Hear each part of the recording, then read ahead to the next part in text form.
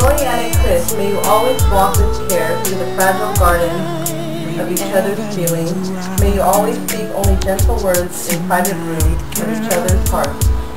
May you always live with tenderness, trust at home, in the warmth of each other's arms. Congratulations. Love always, Deluxe Samana. Bam!